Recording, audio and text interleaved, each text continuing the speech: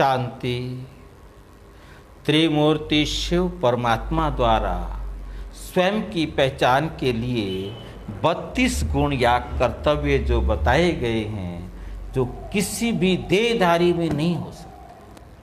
जो किसी भी देहधारी में नहीं हो सकते, उनमें ग्यारहवा गुण है, सबका सदगति दाता है। सर्व की सदगति करते हैं। जो भी सदगति का बहुत सिंपल सा अर्थ है, श्रेष्ठ अवस्था। बॉटम से टॉप पर ले जाना, पतित से पावन बना देना, जो भी आत्मा, चाहे वो सतयुग के आदि में आई हो, त्रेता में आई हो, द्वापर में आई हो, कलयुग में आई हो वो आत्मा जब भी आती है इस संसार में, जिस स्टेज पर आती है, उस स्टेज से गिरना शुरू कर देती है।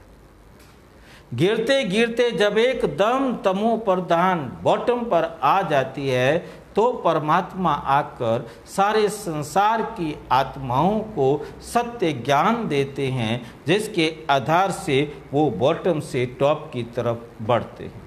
जिसको कहा जाता है, नानक नाम चढ़दी कला।